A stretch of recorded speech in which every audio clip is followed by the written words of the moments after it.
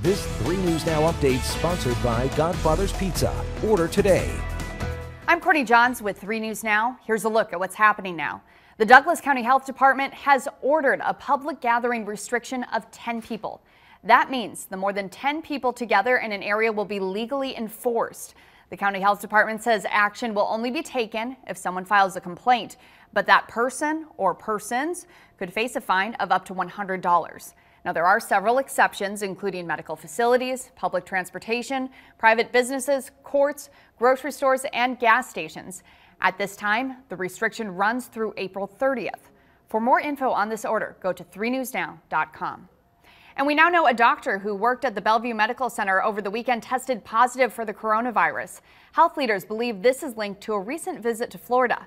They told nine patients who had contact with the doctor to watch their symptoms. Nebraska Medicine says the doctor is at home in isolation and has mild symptoms. There are currently 24 cases in Nebraska. That includes Sarpy County, which reported its first case yesterday.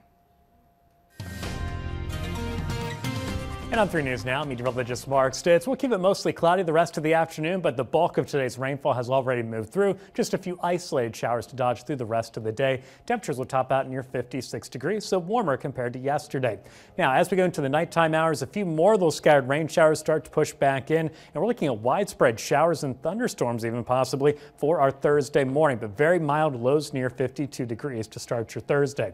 Tomorrow afternoon, a few more scattered showers and thunderstorms for us to dodge, and some lows in the afternoon into evening could even be on the strong to severe side. Biggest concerns being large hail and damaging winds. Also breezy and warm with highs near 63. Friday, our first full day of spring. It looks like it's going to be cold and windy. And as some of that cold air moves in late Thursday night, could change some of that rain into snow, mainly north of I-80. Little to no accumulation at all here in Omaha. But Friday, windy and colder, highs near 30. Over the weekend, we start to warm things back up. Upper 30s Saturday, 40s on Sunday, and back to the 50s early next week, but it does come with a few more rain chances.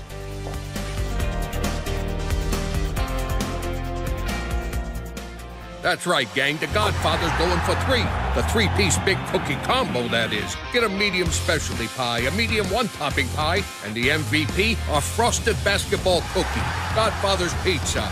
Do it.